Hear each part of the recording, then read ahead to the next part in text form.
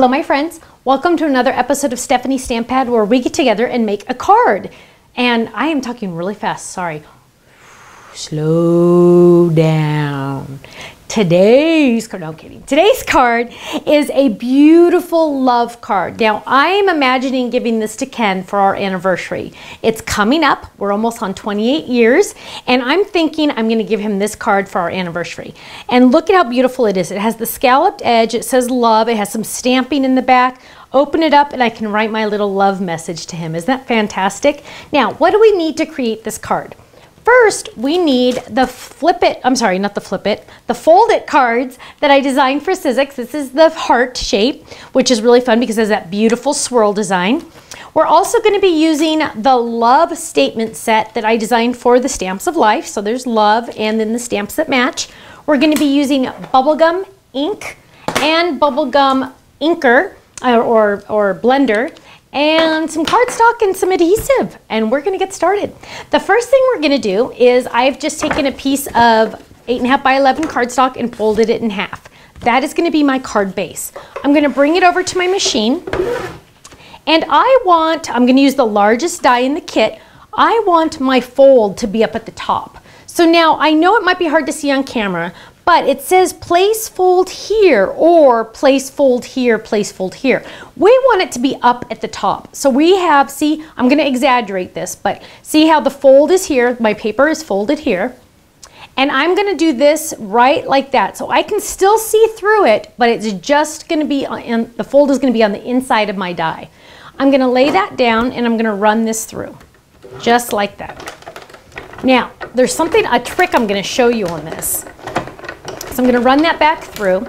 And something that I want you to notice is on that fold line, and most of the dies that are the foldeds, it doesn't matter, but you can see that it's kind of flat right there, and you're like, oh gosh, I don't want, that because that's where it folds, but you're like, oh, I don't want it to look like that. Well, what you're gonna do is you're gonna die cut it normally, so you're just gonna lay it down, and we'll just do it too, just to do it. So we're gonna lay that down, and we're just gonna run it through normal, like a normal die.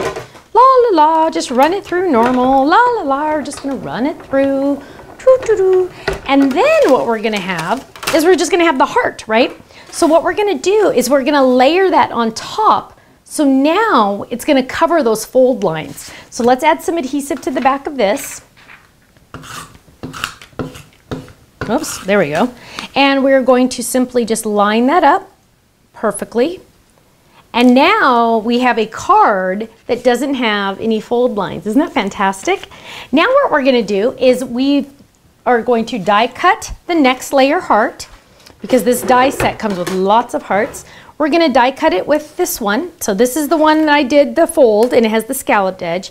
Now we're going to do this one, which is the next size. This is gonna be the layering piece. Easy peasy. We're gonna stamp on that in just a second, but let's do some more die cutting. Next, what we're gonna do is we're gonna die cut some red and I have already put the adhesive on the back so I have adhesive on the back. I'm gonna lay this down and I see I have a little bit of a dirty die here. I'm going to clean my die because a dirty die equals a dirty die cut. We don't want that. You always want to use a clean die so you get a clean die cut.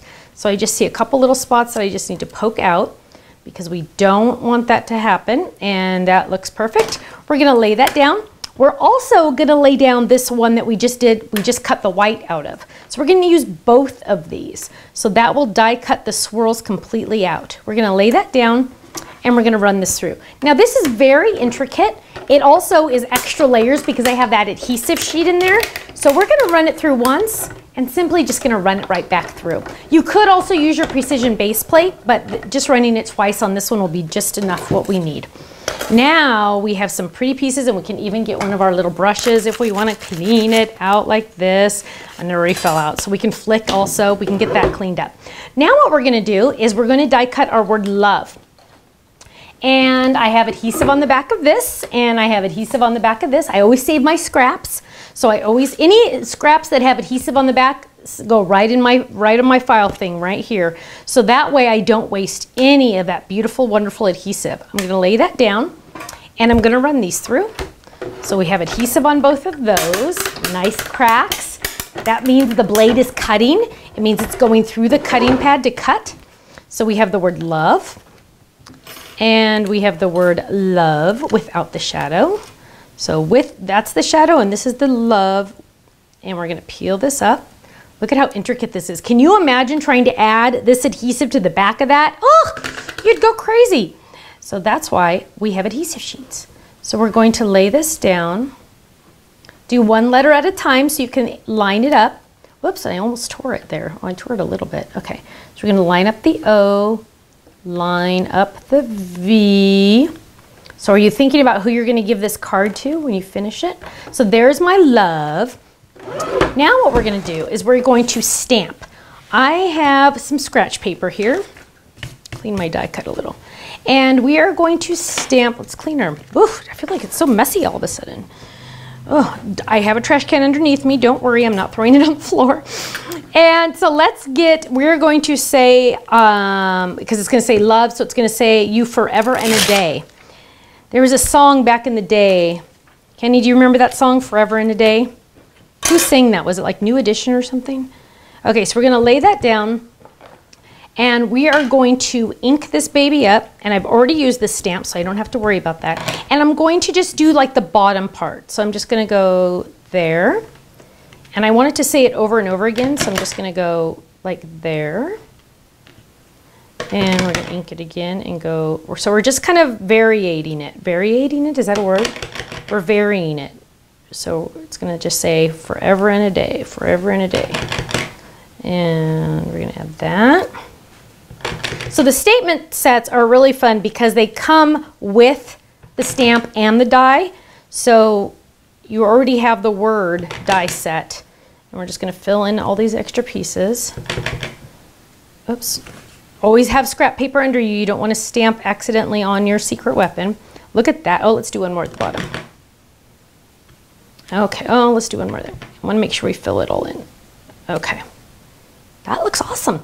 So now what we're going to do is we're going to take our inker, our blender, and I'm going to ink it up. Now, you would think that you could use the same, this is the same color, but this is the big version, this is the small version. You're going to use the small version with your blenders. You are going to use the big version with your stamps. Why is that?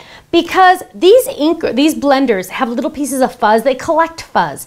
And if I got fuzz on my big, beautiful ink pad, and then I went to stamp, a piece of fuzz would stick to my stamp and then it wouldn't stamp right and it wouldn't be, you'd be sad because you'd have to stamp over and over and clean your stamp and deal with that. So you want to use the little mini pads for the inking, for the blending. That way you don't have to worry about those little extra pieces of fur or fuzz or whatever. And we're just going to run this over. It's the same color. I'm using the same color. I'm using bubble gum. And we're just going to kind of give it some little extra definition on one side. And we're going to go up just a little bit just for kicks. There we go. Okay, so now what we're going to do, and you can see how even though it's stamped in the same color, you can see, you can see both. So now what we're going to do is we're going to close that up and we are going to get our die. Now remember, this had the adhesive on the back, so we're just going to flick it. Also, when you don't, if you don't want to flick it, you can also peel it. Most of the trash will come off. See that? Look at that. Most of it will come off. Now these swirls are a little tricky sometimes because the scraps get cut in there. So there we go. So now what we're going to do is we're going to lay this down. Whoops, one extra piece. Look at that. Now, we know this is going to line up perfectly because it was the same die, remember, that cut it out? It was the outside layer piece. There we go. And now we're going to add this to this. So we're going to add adhesive to this. To the front of our card, just like this. Look at how cute this is. This is also a great card for Valentine's Day, for Friendship Day, for anything. Now we're gonna add our love. And I have adhesive on the back of this, but I noticed that some of my word is gonna hang off a little, so I'm only gonna peel off some of the back. So don't peel off all the back because you don't want it to get sticky on the back um, when it's not, when it's hanging over. So we're gonna lay that right there. And then to finish this off, we're gonna add a cute little bow right in the corner. So let's get some glue dots and we're gonna add some of those sticky little guys on there. So we'll add two just to make sure we get it on there. And there we go. And look at how adorable this card, how easy was that? Wasn't that fun? Love with some beautiful stamping in the background. We can open it up and we can write our message. If you don't want to write on the red, die cut another white heart, lay it right on the inside, and now you can write on the white. Isn't that fantastic? Look at how beautiful that is. Thank you so much for joining me for another episode of Stephanie's Stamp Pad where we get together and make a card. I'll see you again soon. Bye-bye.